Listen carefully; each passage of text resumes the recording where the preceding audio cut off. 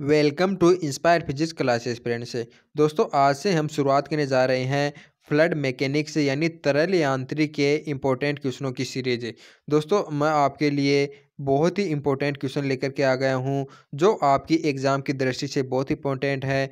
यदि दोस्तों आप इन सभी क्वेश्चनों को कर लेते हैं तो ये क्वेश्चन आपके एग्ज़ाम में ज़रूर हेल्प करेंगे। तो शुरुआत करते हैं दोस्तों हमारे इस वीडियो की, और देखते हैं हमारा फ्लड मैकेनिक यानी तरल यांत्रिक का पहला क्वेश्चन है। दोस्तों इसके पहले क्वेश्चन आपके सामने है, इसमें आपको दिया हुआ है कि द्रव्य से भरे पात्र की तली पर दाब निर्भर नहीं करता। गुरुत्वीय त्वरण पर द्रव्य स्तंभ की ऊंचाई पर तली के क्षेत्रफल पर या द्रव्य की प्रकृति पर? इस क्वेश्चन में आपको क्या बताना है कि आपके पास कोई एक पात्र है जो द्रव्य से भरा हुआ है? तो इसकी सतह पर जो हमारा प्रेशर होता है, दाब होता है, वो आपको बताना कि किस चीज़ पर डिपेंड नहीं करेगा। तो दोस्तों, याद रखना तो प्रेशर का जो फॉर्मूला होता है, वो आपको पता होना चाहिए, वो होता है हमारा रो जी एच तो यहाँ से अपन देखते हैं कि दोस्तों, ये हमारे द्रव्य की प्रकृति पर भी निर्भर करता है, गुरुत्वीय त्वरण पर निर्भर करता है एवं ऊंचाई पर निर्भर करता है। बल्कि दोस्तों, हमारा जो तली का क्षेत्रफल होता है इस पर हमारा पेपर इस पर डिपेंड नहीं करेगा। तो इस प्रकार से इसका राइट आंसर जाएगा ऑप्शन नंबर सी वाला। यानी दरवे से भरे पात्र की तली पर जो दाब होगा, वह क्षेत्रफल पर निर्भर नहीं करेगा, बल्कि गुड़ती त्वरण, ऊंचाई एवं दरवर की प्रकृति यानी रोज जी एच इन तीनों पर निर्भर करेगा।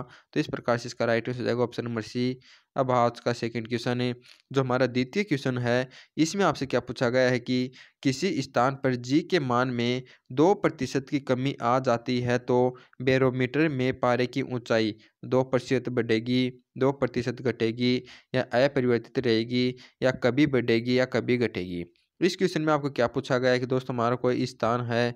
वहाँ पर यदि अपन ग्रेविटी का मान को यदि दो प्रतिशत की कमी कर देते हैं, यानी इसमें डिक्रीज कर देते हैं तो दोस्तों इसके अंदर जो हमारा बेरोमीटर में, यानी जो पारे की जो ऊंचाई होती है वो आपको बतानी है बटेगी या घटेगी। तो दोस्तों, हमने बताया था कि जो हमारा प्रेशर का जो फॉर्मूला होता है, वो होता है रो जी एच होता है। तो यहाँ से अपन देखते हैं कि जो एच इज़ इक्वल टू दोस्तों में प्राप्त होता है, वो पी अपॉन में रो जी प्राप्त होता है। यहाँ से अपन देखते हैं कि जो एच होता है, वो गुरुत्वीय त्वरण की वित्त को मान पाती है। तो दोस्तों, यदि जी के मान में यदि कमी लाई जा रही है तो एच का मान हमारा बढ़ जाएगा। और दोस्तों ये इसके वित्त को मान पाती होता है। यदि हमारा जी का मान दो प्रतिशत कम हुआ है तो दोस्तों एच का मान दो प्रतिशत बढ़ जाएगा। तो इस प्रकार से इसका राइट हो जाएगा ऑप्शन नंबर ए वाला। तो याद रखना, यदि किसी स्थान पर जी के मान में दो प्रतिशत की कमी आ जाती है तो बैरोमीटर की ऊंचाई में दो प्रतिशत की वृद्धि होगी तो इसका राइट हो जाएगा ऑप्शन नंबर ए अब देखते हैं आपके लिए थर्ड क्वेश्चन है। आज का जो तीसरा क्वेश्चन है, इसके अंदर क्या दिया हुआ है कि स्थिर लिफ्ट में रखा दाब मापी छत्तर छिहत्तर सेंटीमीटर पाठ देता है। यदि लिफ्ट ऊपर की ओर त्वरित गति करे तो दाब मापी का पाठ होगा। दोस्तों, आपको क्या बताना कि एक लिफ्ट है हमारी स्त्री उसके अंदर दोस्तों हमारा जो एक दाब मापी रखा है, उसके अंदर दोस्तों जो इसकी पारे की ऊंचाई है वो छिहत्तर सेंटीमीटर है। यदि दोस्तों हमारा जो लिफ्ट है, ये किसी त्वरण से ऊपर की ओर गतिशील है तो आपको बताना कि दोस्तों हमारा जो पार होगा, इसके अंदर जो दाब मापी के अंदर जो ऊंचाई ऊंचाई होगी, वो छिहत्तर सेंटीमीटर के तुल्य होगी या इससे अधिक होगी या इससे कम होगी। तो हम जानते हैं दोस्तों, यदि कोई भी हमारी लिफ्ट है, यदि वह किसी एसिलेशन से ऊपर जा रही है तो उस समय इसका जो प्रभावित त्वरण होता है जी डैश दोस्तों हमारा जी प्लस का ए हो जाता है। यानी दोस्तों हमारा जो जी, का मान है, यहाँ पर बढ़ा है। और पहले वाले क्वेश्चन में मैंने आपको बताया था कि जो एच होता है, दोस्तों, हमारा जी के व्युत पाती होता है। यदि जी के मान में वृद्धि होती है तो दोस्तों, हमारा एच का मान कम होगा। तो दोस्तों, यदि यह स्थिर यानी दोस्तों, जो लिफ्ट है, यदि किसी एसिलेशन से ऊपर जा रही है तो हमारा जी का मान चेंज हो गया है और इसका मान बढ़ गया है। तो जी का मान बढ़ने के कारण दोस्तों, हमारी जो इसकी ऊंचाई हो जाएगी, वो यानी छिहत्तर सेंटीमीटर से कम हो जाएगी तो इसका राइट हो जाएगा ऑप्शन नंबर डी वाला। यानी एक स्थिर लिफ्ट में यदि दाब मापी छिहत्तर सेंटीमीटर पाठ देता है तो यदि वह ऊपर की ओर त्वरित गति करे तो दाब मापी दोस्तों जो पाठ होगा, वो हमारा छिहत्तर सेंटीमीटर से कम होगा, क्योंकि जो एच का मान होता है, वो हमारा जी के वित्त का मान पाती होता है तो इसका राइट आंसर आएगा ऑप्शन नंबर डी अब देखते हैं आपके लिए नेक्स्ट क्वेश्चन है। हमारे दोस्तों, जो चार नंबर का क्वेश्चन है, बहुत ही अच्छा क्वेश्चन है। इसके अंदर क्या दिया हुआ है कि एक बंद आयताकार पात्र पूर्णतः जल से भरा है। तथा क्षतिज तल पर ए त्वरण से दाई और गतिशील है। दाब किन बिंदुओं पर अधिकतम व न्यूनतम होगा? दोस्तों, इस क्वेश्चन में आपको क्या दिया हुआ कि दोस्तों, जल से भरा हुआ कोई ये हमारा गनाकार का एक पात्र है, यह पूर्ण से जल से भरा हुआ है।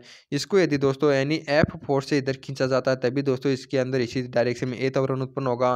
तो दोस्तों, हम जानते हैं यदि जिसको एफ़ बल से इधर खींचा जा रहा है तो दोस्तों ये हमारा क्रिया बल हो गया। और हमारा जो प्रतिक्रिया बल होगा, यानी दोस्तों इसके जल के अणुओं पर जो हमारा प्रतिक्रिया बल होगा, यानी छदम बल हो जाएगा, उसकी डायरेक्शन इसके विपरीत में इधर हो जाएगी। यानी कि दोस्तों, यदि इसको अपन एफ़ बल से इधर खींचते हैं तो दोस्तों, जो जल के अणु होंगे, वो पीछे की ओर जाने की कोशिश करेंगे, क्योंकि इस पर प्रतिक्रिया बल, यानी अब आभासी बल कार्य करेगा। तो दोस्तों, हमारे जो डी वाले जल के अणु है, वो एक की ओर जाने की कोशिश करेंगे और सी वाले जल के अणु बी की ओर। तो दोस्तों, यहाँ पर हमारा प्रेशर अधिक हो जाएगा। यानी दोस्तों डी बिंदु से अपन जैसे ही ए बिंदु तक आ जाएँगे तो हमारा जो प्रेशर का मान होगा, वो इंक्रीज होता जाएगा। और दोस्तों, अपन जानते हैं, दूसरी हमारी शर्त क्या होती है है। कि दोस्तों जैसे जैसे हाइट का मान बढ़ता जाता है, नीचे भी हमारा प्रेशर का मान इंक्रीज हो जाता है। तो क्योंकि हम जानते हैं जो दाब का फॉर्मूला होता है, वो रो जी एच होता है। यानी जैसे जैसे हाइट का मान बढ़ेगा वैसे वैसे प्रेशर का मान बढ़ेगा। यानी दोस्तों हमारा ए पर यानी प्रेशर कम होगा और जैसे जैसे नीचे जाएँगे, यानी कि बी पर आकर प्रेशर हमारा मैक्सिमम हो जाएगा। तो दोस्तों अपन देखते हैं कि यदि अपन इस डायरेक्शन में आते हैं तो भी हमारा प्रेशर बढ़ता है और इस डायरेक्शन में जाते हैं तो भी प्रेशर बढ़ता है। तो इस प्रकार अपन देखते हैं कि दोस्तों हमारा जो बी पॉइंट हो जाएगा, वहाँ पर प्रेशर सर्वाधिक हो जाएगा और डी वाले बिंदु पर प्रेशर न्यूनतम होगा। क्योंकि दोस्तों, यहाँ पर प्रेशर होगा न्यूनतम जैसे जैसे इधर आएँगे और बढ़ेगा और जैसे जैसे नीचे जाएँगे तो और बढ़ता जाएगा। तो डी वाले पॉइंट पर तो मैक्सिमम हो जाएगा और डी वाले पॉइंट पर दोस्तों में न्यूनतम पूछा गया तो डी वाले पर हो जाएगा न्यूनतम। तो इसका राइट हो जाएगा ऑप्शन नंबर ए वाला। यानी दोस्तों, हमारा जो पहले वाला पॉइंट है, वहाँ पर आपको अधिकतम बताना है और सेकेंड वाले पॉइंट पर न्यूनतम। तो मैंने आपको बता दिया कि बी पॉइंट पर हमारा प्रेशर अधिकतम हो जाएगा और डी वाले पॉइंट पर प्रेशर न्यूनतम। तो इसका राइट हो जाएगा ऑप्शन नंबर ए वाला। दोस्तों ये बहुत ही अच्छा क्वेश्चन है, ऐसा क्वेश्चन आपके एग्ज़ाम में पूछे जाते हैं। तो इसको अच्छी तरह समझ लेना। अब आपके लिए पांचवा क्वेश्चन जो हमारा पांचवा क्वेश्चन है, इसमें क्या कह रहा है कि जल से भरा बीकर किसी अन्य बड़े पात्र में रखा जाता है? वह चूसक द्वारा पात्र से निर्वात उत्पन्न किया जाता है तो बीकर के तल भी पर दाब होगा। दोस्तों, आपको क्या दिया हुआ है कि हमारा कोई दोस्तों, एक बिक्कर है, इसके अंदर दोस्तों जल भरा हुआ है। और यदि दोस्तों इसको अपन किसी एक बड़े पात्र में रख देते हैं, मान लो तो इस बड़े पात्र में रख देते हैं और चूसक द्वारा यदि दोस्तों इसका जो अंदर निर्वात उत्पन्न करते हैं, यानी दोस्तों इसके अंदर जितना भी यानी वायु या माध्यम था, उस माध्यम को दोस्तों चूसक के द्वारा बाहर निकाल लिया जाता है, यानी पर निर्वात उत्पन्न कर देते हैं। तब आपको बताना कि इस प्रेशर यानी जो हमारा इसकी तली पर प्रेशर होगा, वो किस प्रकार से निर्भर करेगा, किस प्रकार से चेंज होगा।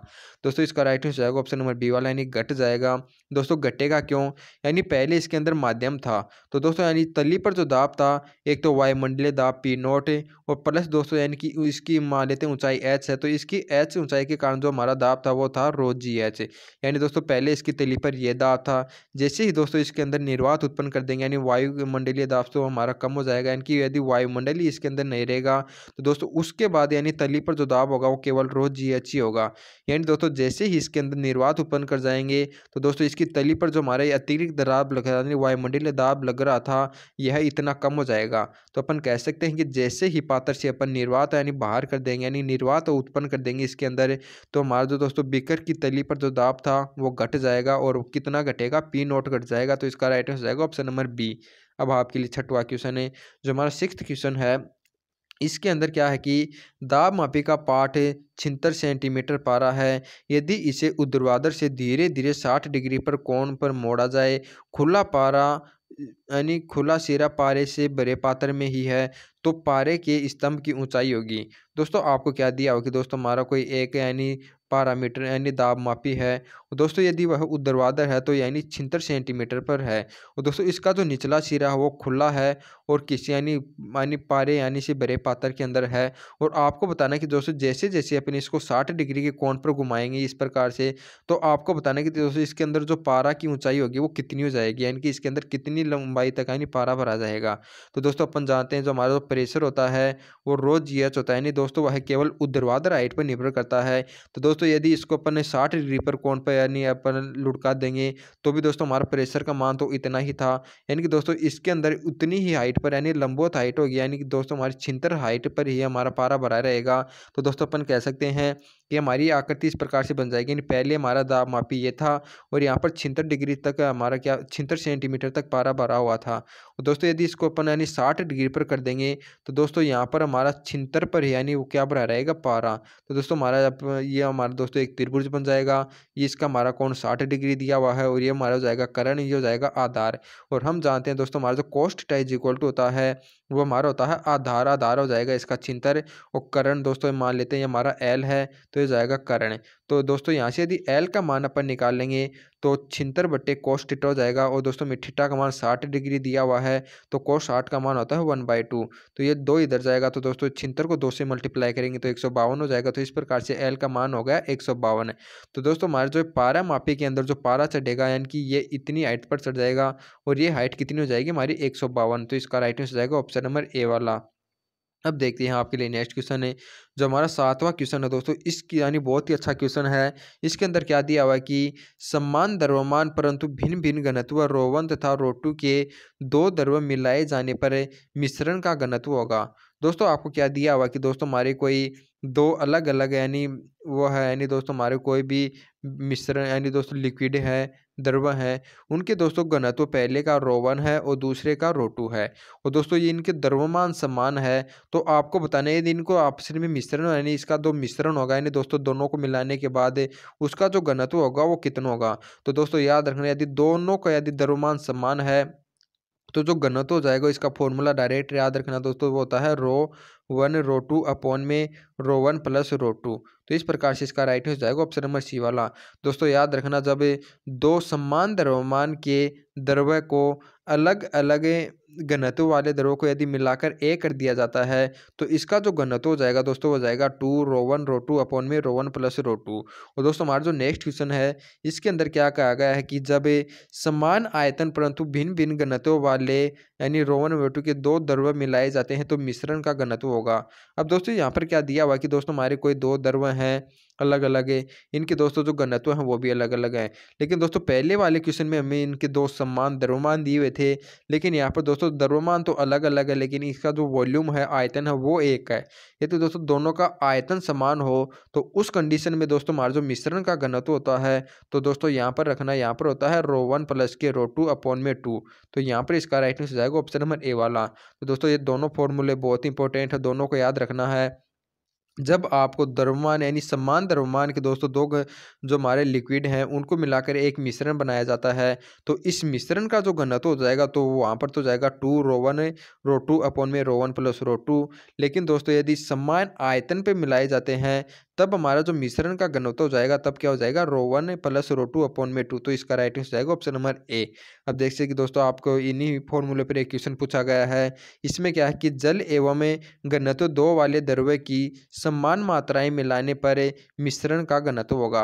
यानी तो समान मात्राएँ का मतलब है कि दोस्तों उनका जो हमारा वॉल्यूम है, वो दोनों का इक्वल है। तो दोस्तों समान आयतन पे मिलाए जाते हैं तो हम जानते हैं दोस्तों यदि समान आयतन के दो द्रव्य को यदि एक मिश्रण बनाया जाता तो मिश्रण का घनत्व है, उसका फॉर्मूला मैंने आपको बताया था कि row one plus row two upon में टू होता है।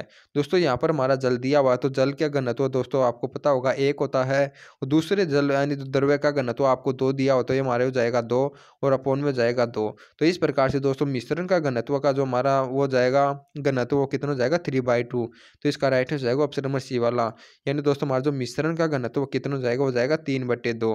तो दोस्तों, इस प्रकार से इसका राइट हो जाएगा ऑप्शन नंबर सी दोस्तों तीनों क्वेश्चन है, वो बहुत इंपॉर्टेंट है। यानी दोस्तों, यदि आपको फॉर्मूले याद हैं तो इनसे संबंधित दोस्तों, जो सीधे क्वेश्चन पूछे जाते हैं, इनको आप आसानी से कर सकते हैं।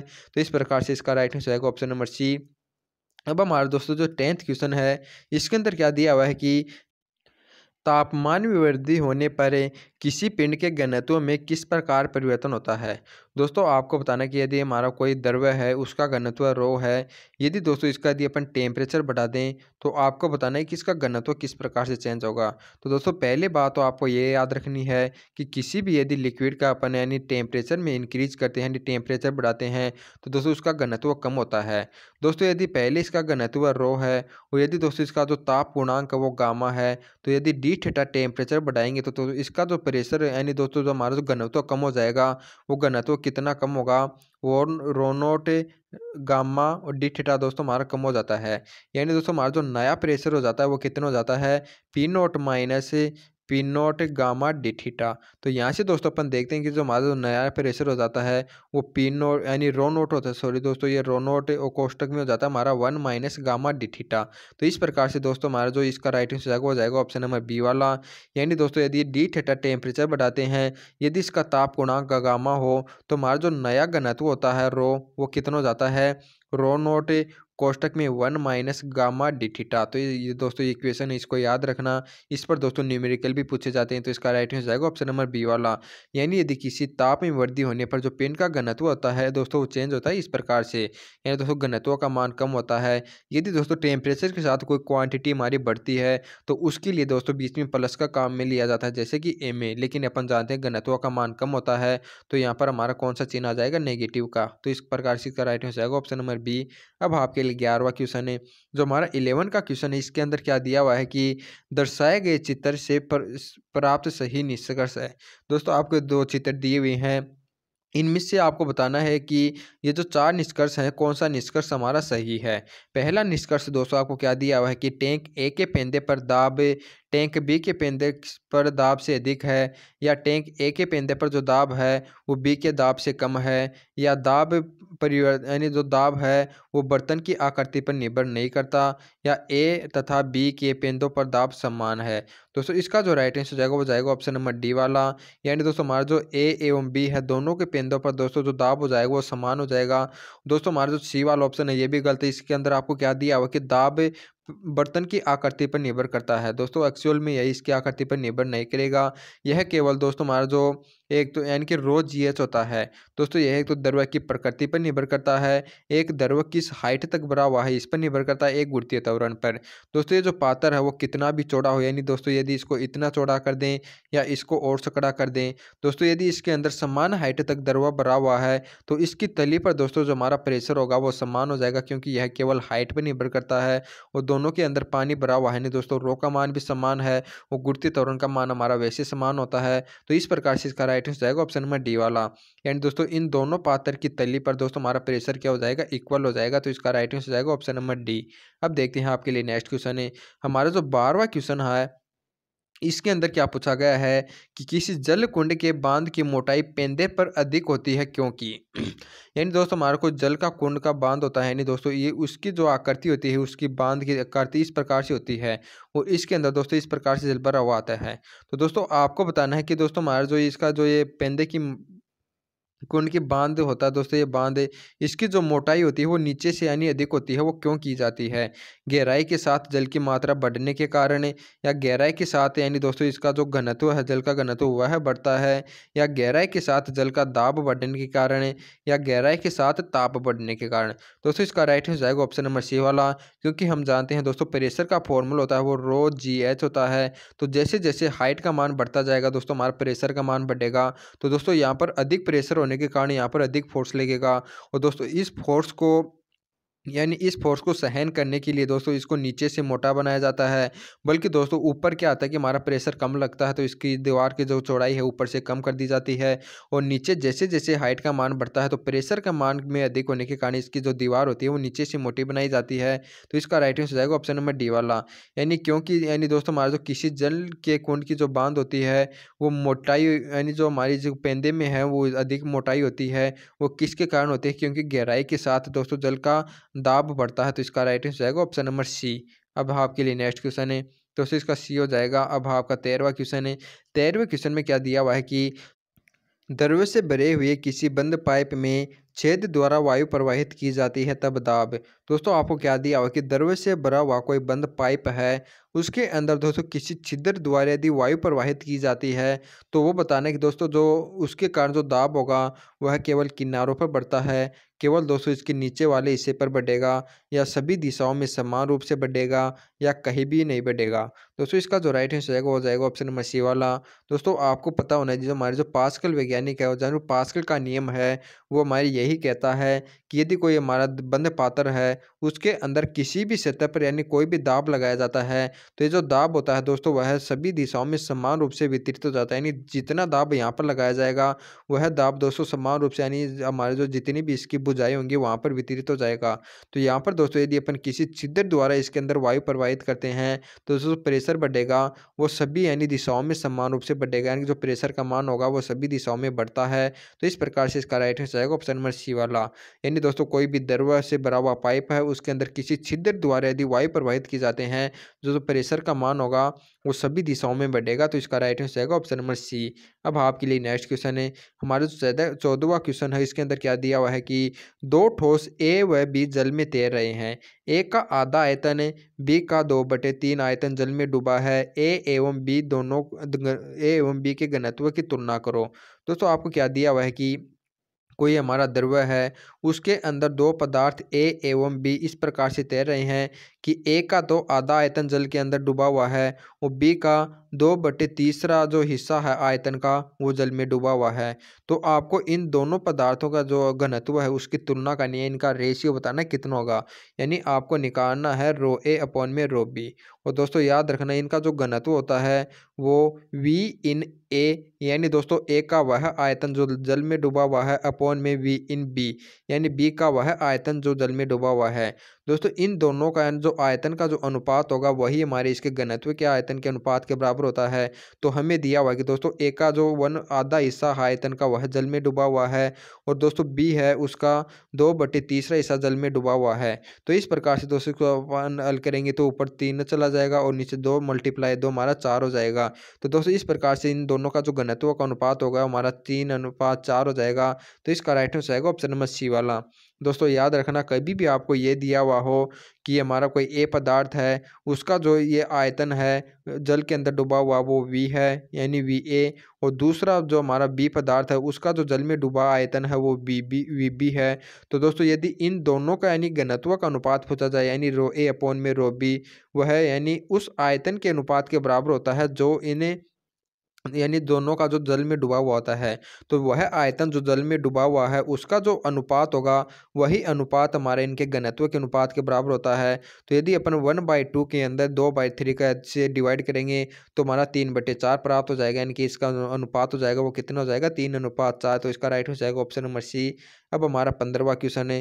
दोस्तों, पंद्रहवा क्वेश्चन में क्या दिया हुआ है कि वी नोट आयतन व डी नोट घनत्व का पिंड डी घनत्व वाले द्रव्य में तैर रहा है। तो पिंड के आयतन का वह भाग क्या होगा जो द्रव्य की सतह के ऊपर है?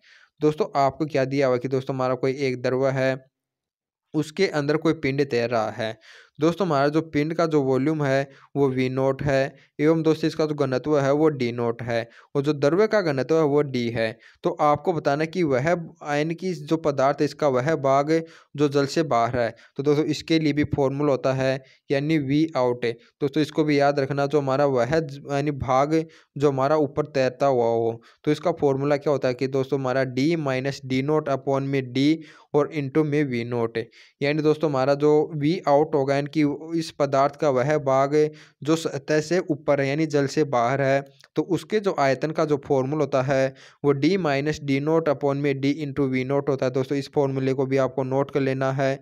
तो मैं यही पूछा गया तो इसका जो राइट आंसर जाएगा, वो जाएगा ऑप्शन नंबर सी वाला। यानी D minus D naught upon में डी दोस्तों, आपको क्या दिया हुआ है कि पिंड के आयतन का वह भाग क्या होगा? जो द्रव की सतह के ऊपर है। तो दोस्तों, यहाँ पर वी नोट नहीं दिया हुआ कि जो हमारा जो वी आउट का जो फॉर्मूल होता है, वो D minus K D naught upon में डी होता है और ये होता है वी नोट। तो दोस्तों, मैं यानी कि यही इसका यानी अनुपात के रूप में पूछा गया है। तो वी आउट अपॉन में जो वी नोट हो जाएगा, यानी कि वी नोट यहाँ पर आ जाएगा, वो किसके इक्वल हो जाएगा? D minus K D naught upon में डी तो इसका राइट आंसर जाएगा ऑप्शन नंबर सी अब आपके लिए नेक्स्ट क्वेश्चन है। हमारा जो सोलह का क्वेश्चन है, इसके अंदर क्या दिया हुआ है कि बर्फ़ का एक टुकड़ा जिसका घनत्व 900 ग्राम ग्राम पर मीटर क्यूब है, पानी का घनत्व हज़ार के जी पर मीटर क्यूब में तैर रहा है तो पानी के टुकड़े का कितने प्रतिशत भाग पानी के ऊपर होगा? दोस्तों, आपको यानी कि पहले जो वाला क्वेश्चन है, यानी जो मैंने सूत्र बताया था, उसी पर क्वेश्चन पूछ लिया गया है। यानी दोस्तों, हमारा कोई जल है, उसका घनत्व आपको हज़ार दिया हुआ है और जो हमारा दोस्तों, जो बर्फ़ का घनत्व है, वो आपको नौ सौ दिया हुआ है। और आपको बताना है कि दोस्तों, इसका कितना भाग होगा, कितना प्रतिशत भाग होगा जो हमारा जल से ऊपर होगा? तो मैंने आपको बताया था कि जो हमारा वी आउट का जो फॉर्मूला होता है, वो D minus K D naught upon में डी और इंटू में वी नोट होता है। तो यहाँ से दोस्तों में डी का मान अपन हज़ार रखेंगे और डी नोट का मान नौ सौ रखेंगे और अपॉन में रखेंगे हज़ार और बार हो जाएगा हमारा वी नोट तो दोस्तों यहाँ से हमारा जो वी आउट यानी वी ओ यू टी यानी यही इक्वल टू किस के हो जाएगा? दोस्तों यदि हज़ार में से नौ सौ अपन घटाएँगे तो हमारा सौ बचेगा और सौ को यदि हज़ार से डिवाइड करेंगे तो हमारा कितना बच जाएगा? One by ten V naught यानी कि दोस्तों अपन देखते हैं कि हमारा जो बार का जो भाग है दोस्तों, वह वी नोट की तुलना में यानी एक बटे दस भाग बार है। यदि दोस्तों इसको अपन इसको प्रतिशत में निकालेंगे, इसको सौ से मल्टीप्लाई कर देंगे तो हमारे कितना हो जाएगा? दस प्रतिशत। यानी कि दोस्तों, हमारा जो बाहर होगा, यानी कि बर्फ़ का, वह यानी उस पूरे का, यानी वी नोट का दस प्रतिशत ही होगा, यानी जो बाहर होगा। तो इस प्रकार से इसका राइट हो जाएगा ऑप्शन नंबर सी वाला। यानी दोस्तों, बर्फ़ का वह टुकड़ा, जो यानी कि पानी के ऊपर हो, वह पूरे टुकड़े के कितने प्रतिशत होगा दोस्तों? वो हो जाएगा दस प्रतिशत तो इसका राइट आंसर जाएगा ऑप्शन नंबर सी अब देखते हैं आपके लिए नेक्स्ट क्वेश्चन है। हमारा जो सत्रहवा क्वेश्चन है, इसके अंदर आपको क्या दिया हुआ है कि किसी बंद तरल के किसी बिंदु पर आरोपित दाब, तरल के प्रत्येक बिंदु पर समान रूप से वितरित होता है, यह नियम सर्वप्रथम दिया था। यानी दोस्तों, आपको क्या दिया हुआ कि कोई एक बंद तरल है उसके अंदर दोस्तों किसी बिंदु पर यानी आप दारोपी आप यानी जो हमारा दाब है वो आरोपित किया जाता है। मान लो कि इस बिंदु पर हमारा पी प्रेशर लगा रहे हैं। तो दोस्तों जो प्रेशर है, वो तरल के प्रत्येक यानी बिंदु पर समान रूप से वितरित होता है। यानी दोस्तों इसका जो प्रत्येक बिंदु है, उस पर प्रेशर का मान बढ़ता है यदि अपन एक बिंदु पर लगाते हैं। तो दोस्तों यह जो नियम दिया था, वह सर्वपद नियम दिया था पास्कल ने तो दोस्तों हमारा जो पहले वाला क्वेश्चन है, उसके अंदर मैंने भी बताया था यदि अपन किसी छिद्र के द्वारा यदि पाइप के द्वारा इसके अंदर वायु प्रवाहित करते हैं तो ये जो प्रेशर होता है वो समान रूप से वितरित होता है। तो दोस्तों, ये जो यह नियम दिया था, वो किसी वैज्ञानिक ने दिया था, यह वैज्ञानिक था हमारा पास्कल। तो दोस्तों, ये हमारा पास्कल का नियम भी है। यानी पास्कल का नियम क्या है कि किसी तरल, यानी बंद तरल में किसी बिंदु पर आरोपित दाबे तरल के प्रत्येक बिंदु पर समान रूप से वितरित होता है। तो दोस्तों, यही हमारा पास्कल का नियम है और यह जो नियम दिया था, वो पास्कल वैज्ञानिक ने दिया था। तो इस प्रकार से इसका राइट आंसर जाएगा ऑप्शन नंबर डी। अब देखते हैं आपके लिए अठारहवा क्वेश्चन है। दोस्तों, जो अठारहवा क्वेश्चन है, इसके अंदर क्या दिया हुआ कि स्टील के एक पिंड का आकार पाँच सेंटीमीटर गुणा पाँच सेंटीमीटर गुणा पाँच सेंटीमीटर है। स्टील का अपेक्षित घनत्व सात है। तो पिंड को जल में तोला जाए तो आबासी भार होगा। यानी दोस्तों आपको क्या दिया हुआ कि एक स्टील का पिंड दिया हुआ है। दोस्तों इसका जो को आयतन दिया हुआ है और इसका जो घनत्व है वो आपको साथ दिया हुआ है। आपको बताना यदि इसको जल के अंदर यदि दोस्तों तोला तोला जाए तो आपको बताना कि जल के अंदर इसका दोस्तों जो वेट होगा यानी कि आभासी भार होगा वो कितना होगा। तो दोस्तों अपन जानते हैं कि दोस्तों यदि ये भार हो तो इसको भार, इसका जो भार होता है भार यानी वेट, इसका वेट होता है हमारा एमजीएच होता है। ये अपन कह सकते हैं वी रोजी यानी दोस्तों हमारा कितना हो जाएगा? वी रोज जी तो दोस्तों, हमारे इसको वी का मान हमें दिया हुआ है पाँच गुणा पाँच गुणा पाँच। और दोस्तों रो का मान हमारे साथ दिया हुआ है और जी का मान हमें दोस्तों जी रख लेते हैं। और दोस्तों, यदि अपन इसको जल में तोलते हैं, दोस्तों, अपन जानते हैं यदि जल में कोई पदार्थ रखा हुआ है तो उसके द्वारा कोई एक बल यानी ऊपर की ओर कार्य करता हो, वो तो हमारा उत्प्लावन बल है। तो दोस्तों, यानी कि इसका जो हमारा सामान्य भार है, उसके अंदर से दोस्तों हमारा जो उत्प्लावन बल लगेगा, वो हमारा हो जाएगा वी सिग्मा जी दोस्तों, मान लेते हैं कि हमारा सिग्मा वो जल का घनत्व है। तो दोस्तों, हमारा जो इस पर भार लगेगा, वो हमारा ये लगेगा वी सिग्मा जी यानी वह आयतन जो जल के अंदर डूबा हुआ है और इंटू में जल का घनत्व इंटू में गुड़ती त्वरण। दोस्तों, यही हमारा उत्प्लावन बल होता है। तो इसमें से दोस्तों, हमारा जो इसका वास्तविक भार है, इसमें दोस्तों यदि उत्प्लावन बल घटा देंगे, यानी जो ऊपर की ओर लगेगा, यह घटाने के बाद दोस्तों, हमारा जो इसका जो आभासी भार हो जाएगा, वो निकल कर आ जाएगा। यानी दोस्तों, इसका जो वास्तविक भार है, इसमें से उत्प्लावन बल लाएँगे तो घटाएँगे मतलब वी का मान हमारा कितना हो जाएगा? पाँच गुणा पाँच गुणा पाँच। और दोस्तों, इसका घनत्व का मान यानी सिग्मा का मान अपन जानते हैं, जल के लिए घनत्व एक होता है, और ये हमारा हो जाएगा जी तो दोस्तों, इस प्रकार से यदि इसको अपन सोल्व करेंगे तो पाँच गुणा पाँच गुणा पाँच दोस्तों, ये हमारा कॉमन आ जाएगा सभी में से। और दोस्तों, ये जी भी हमारा बार कॉमन आ जाएगा। और अंदर बचेगा दोस्तों, यहाँ पर तो बच जाएगा सात और यहाँ से बच जाएगा एक। सात में से एक जाएगा तो कितना बचेगा? छः। तो इस प्रकार से दोस्तों, इसका जो फाइनली आंसर हो जाएगा, वो हो जाएगा पाँच मल्टीप्लाई पाँच मल्टीप्लाई पाँच। सात में से एक जाएँगे तो हमारा बच जाएगा छः। और बाहर बच जाएगा हमारा ये जी और दोस्तों, ये एफ़ लगेगा इसके लिए बाहर का मात्रा के। तो इस प्रकार से इसका जो राइट आंसर हो जाएगा दोस्तों हो जाएगा ऑप्शन नंबर ए वाला, यानी तीन, पाँच, और सात में से एक घटाएँगे तो हमारा एक, छः बज जाएगा, और ये हमारा दोस्तों जी का मतलब होगा गुड़ती त्वरण तो दोस्तों हमारा जो इसका जो आभासी भार हो गया, वो कितना हो जाएगा? ऑप्शन नंबर ए वाला। अब देखते हैं आपके लिए नेक्स्ट क्वेश्चन है। हमारा जो उन्नीसवा क्वेश्चन है, इसके अंदर क्या दिया हुआ कि एक वस्तु किसी द्रव्य की सतह पर ठीक तैर रही है तो वस्तु का घनत्व द्रव्य के घनत्व के समान है तो वस्तु थोड़ी सी द्रव्य में धकेली जाती है तो वस्तु पर क्या प्रभाव पड़ेगा? वह धीरे धीरे पूर्वावस्था में यानी पूर्वावस्था प्राप्त कर लेगी, वह वहीं रह जाएगी जहाँ पर उसे धकेला गया है, वह डूब जाएगी या तेज़ी से बाहर आ जाएगी। दोस्तों, आपको क्या दिया हुआ कि एक हमारा द्रव्य है? दोस्तों, यानी कि द्रव्य का जो घनत्व है, उसी घनत्व का एक पदार्थ है, उसको दल के अंदर दोस्तों, यानी कि इसी स्थान पर धकेल दिया गया है। तो आपको बताना है कि वह धकेलने के बाद वह पूर्व, यानी पुनः अपनी पूर्वस्था में आ जाएगी, या तेज़ी से बाहर आ जाएगी, या वह डूब जाएगी, या जहाँ पर धकेला गया है, वहीं पर रह जाएगी। तो दोस्तों, इसका राइट आंसर जाएगा ऑप्शन नंबर बी वाला, यानी वहीं पर रह जाएगी जहाँ पर उसे धकेला गया है। क्योंकि दोस्तों इसका दोनों का जो घनत्व है, वो समान है। तो घनत्व समान होने के कारण दोस्तों इस पर जो ऊपर की ओर बल लगेगा, वो उत्प्लावन बल का मान वो हमारा शून्य हो जाएगा और दोस्तों भार यानी दोनों, यानी दोस्तों इस पर दो, दोनों यानी तुल्य हो जाएँगे। तो इसके कारण दोस्तों यानी यानी कोई भी हमारा द्रव्य है, उसके अंदर तो उसी के घनत्व वाला यदि अपन पदार्थ मिला देते हैं तो दोस्तों वह उसमें घुल जाता है। यानी जहाँ पर वह रहता है वहीं पर रहेगा। यानी दोस्तों इस पर किसी भी डायरेक्शन में यानी फोर्स नहीं कर लगता। यानी इस पर जितना उत्प्लावन बल लगेगा उतना ही इसका भार होगा। तो ये दोनों एक दूसरे को संतुलित कर देंगे। तो हमारा जो पदार्थ होगा दोस्तों, वहीं पर रह जाएगा, जहाँ पर उसे धकेला गया है। तो इसका राइट हो जाएगा ऑप्शन नंबर बी अब आपके लिए नेक्स्ट क्वेश्चन है। दोस्तों, आज का अंतिम क्वेश्चन भी है ये हमारा। जो बीसवा क्वेश्चन है, इसके अंदर क्या दिया हुआ है कि एक ठोस गोला जिसका घनत्व जल के घनत्व से नीटा गुना कम है। तो गोला चित्र अनुसार एक डोरी की सहायता से किसी पात्र की तली से संगलित है। यदि गोले का द्रव्यमान एम हो तो डोरी का तनाव होगा। दोस्तों, आपको क्या दिया हुआ कि जो एक गोला है, वो किसी पात्र के अंदर यानी दोस्तों किसी रस्सी से बंधा हुआ है। तो यदि दोस्तों इसका जो गोले का घनत्व है, वो जल के घनत्व से नीटा गुना कम है। यानी दोस्तों जो हमारा गोले का घनत्व अपन मान लेते हैं रो है, वो दोस्तों जल का घनत्व सिग्मा से नीटा गुना कम है। यानी दोस्तों इसका नीटा गुना कम है, यानी इसका वो सिग्मा पौन में नीटा है। तो यहाँ से अपन में देखते हैं कि जो जल का घनत्व है दोस्तों वो नीटा रोज जाएगा और ये है नहीं दोस्तों मैं बताना है कि यदि ये हो तो दोस्तों ये रस्सी के अंदर तनाव कितना होगा? दोस्तों, अपन जानते हैं यदि गोले पर यानी दोस्तों ऊपर की ओर उत्प्लावन बल हो और इसका नीचे यानी गोले का वेट हो जाएगा दोस्तों तो नीचे हो जाएगा। तो दोस्तों इसके उत्प्लावन बल में से इस गोले का जो भार होगा, यदि अपन इसको घटा देंगे तो हमारा दोस्तों नेट ऊपर की ओर फोर्स बच जाएगा और नेट यानी ऊपर की ओर जो दोस्तों जो बल होगा, वही हमारे इस रस्सी के अंदर तनाव के बराबर हो जाएगा। तो दोस्तों हमारा जो ऊपर के यानी जो नेट फोर्स जाएगा, वो कितना हो जाएगा? उत्प्लावन बल माइनस का इसका भार है। तो दोस्तों उत्प्लावन बल हमारा अपन जानते हैं वी एवं जल का घनत्व इंटू जी होता है।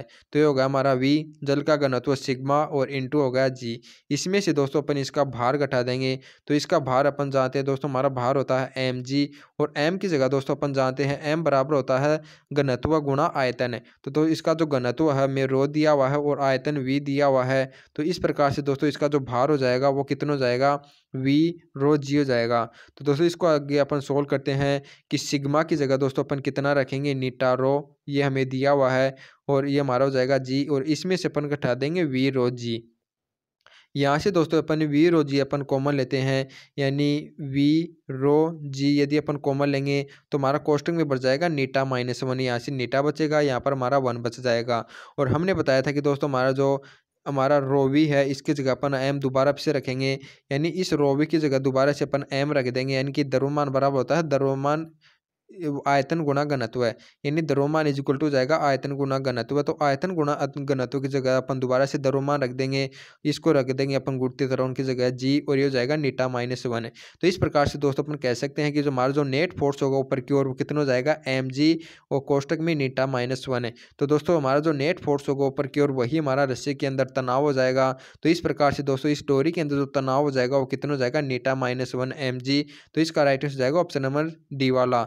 दोस्तों, इसी के साथ हमारा आज का वीडियो कंप्लीट होता है। दोस्तों, आज की इस वीडियो में जो हमारे जो आँख की क्वेश्चन है, वो थोड़े अधिक थे।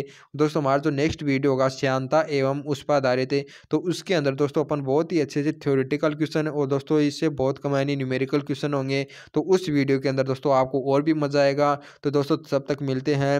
हम आपको इस वीडियो में, तब तक आप सभी को जय हिंद।